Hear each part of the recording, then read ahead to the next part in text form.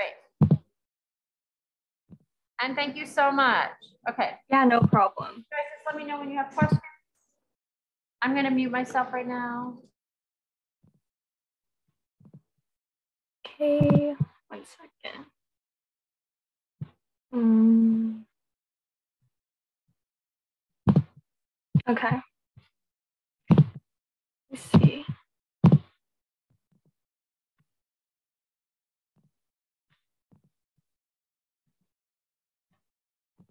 Okay, can you guys view this? Okay, so um, this is like some of the work that I included in my college portfolio from LaGuardia. So this one was an acrylic painting I did um, during. Can you put it on slideshow mode so it full screen? Oh yeah, yeah, Oh, yeah. Thank you. Um, on the right side, next to where right. it says share. Oh, oh, so sorry. Okay. No, it's okay. You're go. good. You're good. Thank Yeah, you. Okay, so this one was an acrylic painting I did in um, AP art with Miss Park.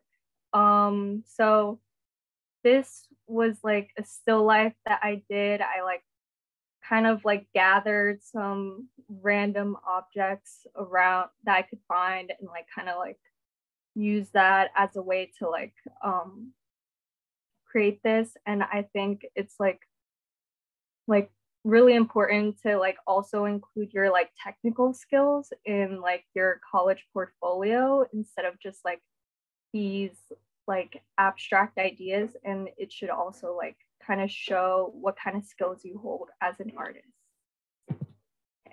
and then this one i also did with miss park in my um ap art studio.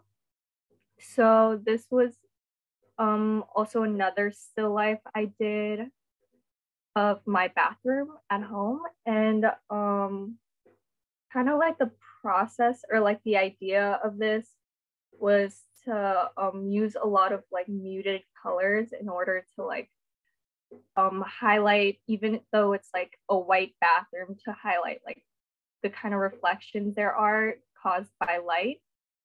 So that's what i did. Um the next one it was kind of like um an independent like like study model that i had done um like i think during the summer but also like kind of um i use it later on in my like future works as a reference for other art.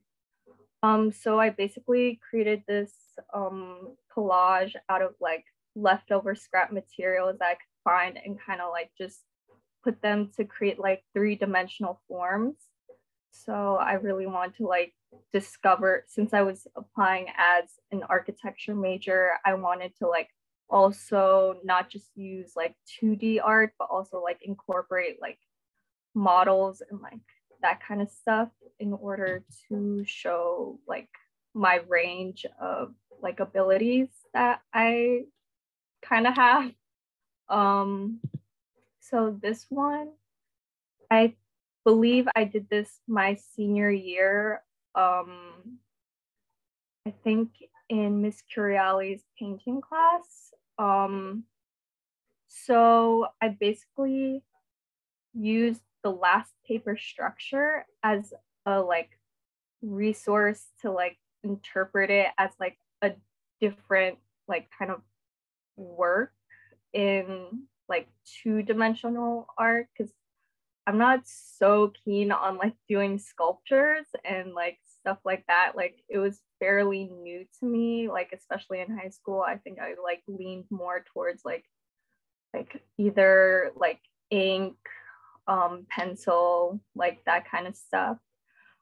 Um, so I used like I incorporated some of like the work like these kind of creases and like forms into my like other work and i used um like a photo i took on vacation like when i went to korea i like used this um this waterfall that i visited So it like kind of contrasts the idea of like this very structured like form and then this like organic like environment.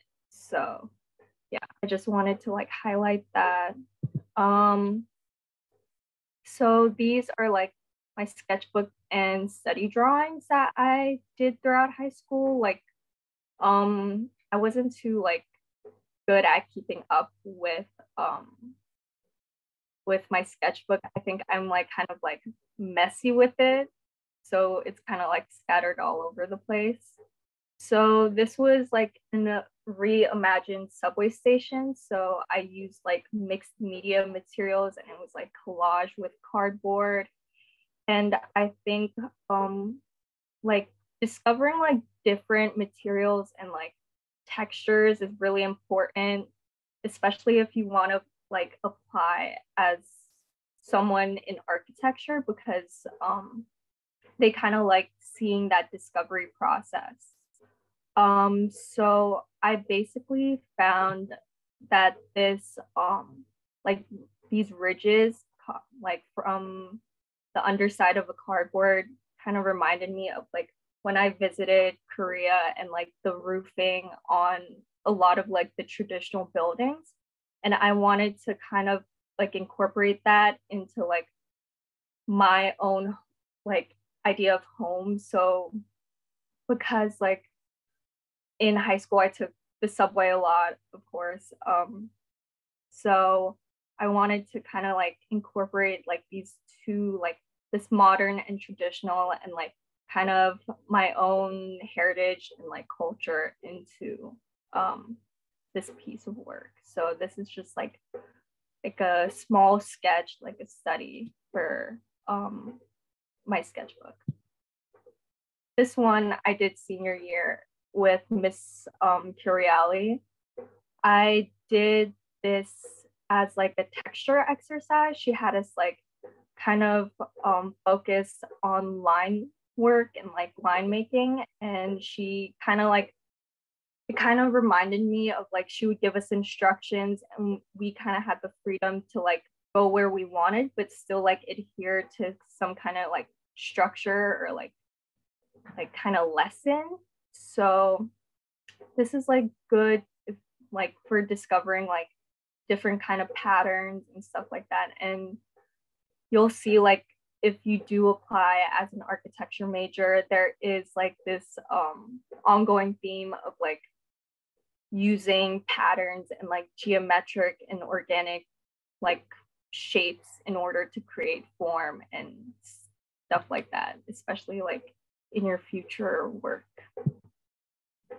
Um, this was a mixed media collage that I created also my senior year.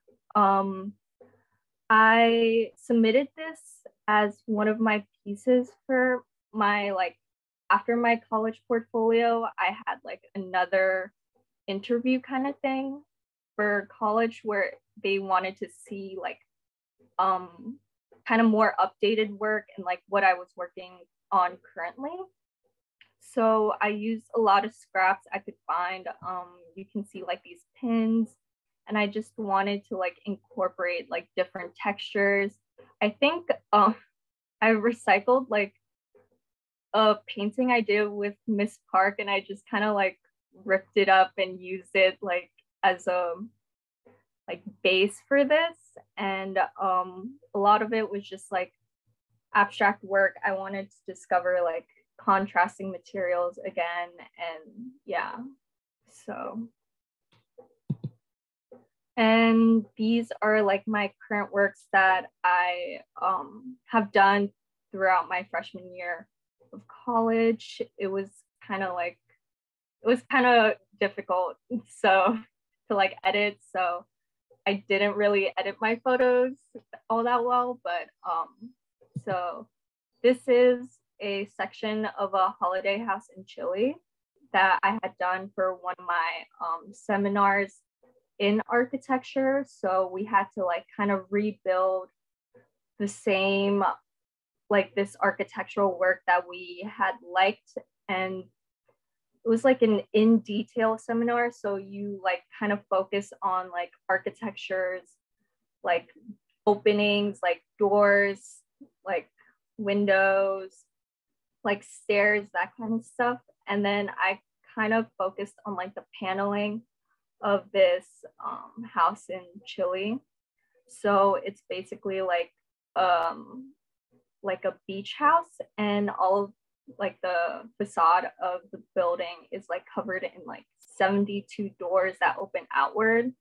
These don't really function, but it's just like kind of focusing on like the paneling and craftsmanship of like the um, house.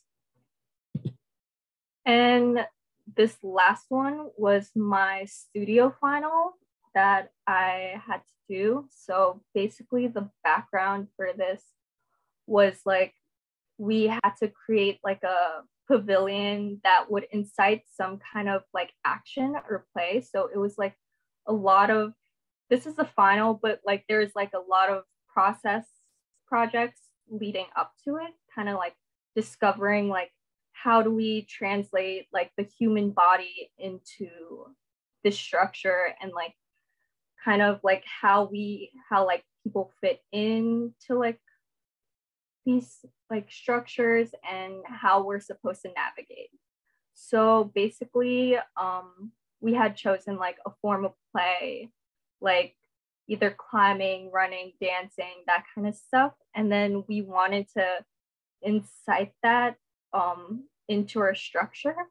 So we had um we had gone to like a museum that was like known for like kids to play around in. And it was just like a lot of abstract like structures that would like incite this idea of play so where i had placed my model kind of like in a skate park so you can kind of see that i try to like also use um orthogonal and like a lot of linear elements to create this um, like curve over here to kind of reflect the site that it's built upon. So yeah, that's basically what I have for um, what I've done so far.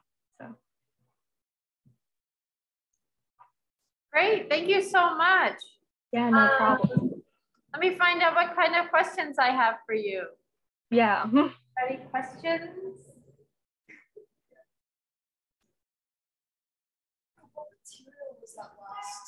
What material did you make that last sculpture that you just showed us? Um, I used a lot of balsa wood. So balsa yeah. Wood. It's really yeah. thin, lightweight. Yeah. Yeah. Cool. Other questions? You want to come with Doctor? Yeah. um, at your school, how often? Sorry. How often do you work like in teams or like in studio groups when working on projects, or is it mostly like independent? I think in my first semester, it was um, during fall semester, it was mainly independent work. But like throughout studio like as you know like there's a lot of collaboration kind of like talking to people by your desk getting critiques. Um but for my spring semester it was like generally more group work. So we kind of like did have partners and then it would be like an example was like you would receive like another fellow student was your client and then they would like tell you what they want in their structure or it would be like working with another person's drawing and like interchanging them and trying to like incorporate them in your own work. So yeah. Do they teach or so far have you gone to do any like anything that was digitally rendered, like using any programs, or it's been mostly like yeah, for sure. I think um I didn't really take that many like digital classes in LaGuardia. So it was definitely like a learning curve when coming to college. Um so we use like Rhino for um, a lot of our digital work. So it's like a 3D modeling kind of um, software that we use. And then there's like a lot of Photoshop, like after you take your photos and Illustrator in order to edit and kind of like render all your things. So yeah, Thank you. Your work is really cool. thank you. Any other questions? No? Um, Haley, I just want to thank you so much for your time. Yeah, no problem. Thanks for preparing everything. Um, I think we already, do we already have your slideshow link? My Share that with kids. And of course, we have the recording of this, that- which is so awesome. Thank you. okay, no problem. Yeah. Okay, great. So you guys want to say goodbye? Bye. Thank you. Bye. Thank you. Have a great you. rest of the semester. You too. Okay, bye-bye.